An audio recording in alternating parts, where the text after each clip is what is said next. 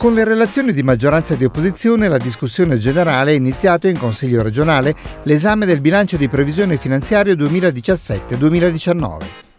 La Giunta ha annunciato che presenterà un emendamento che recepisce alcune istanze emerse dal dibattito, come quelle sulla morosità incolpevole e il sistema neve. Si torna in aula da lunedì. Su richiesta di Forza Italia, l'assessore ai diritti civili Monica Cerutti è intervenuta in aula per illustrare le politiche della giunta regionale su gestione e inclusione delle popolazioni nomadi. Il dibattito proseguirà la prossima settimana.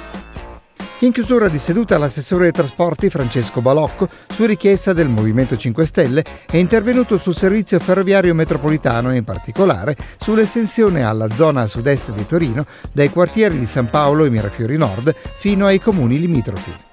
La nuova norma per il primo soccorso pediatrico è legge. La quarta commissione, riunita in legislativa, ha infatti approvato la proposta che promuove la massima diffusione degli interventi diretti a bambini lattanti in situazioni di emergenza e pericolo per la loro salute.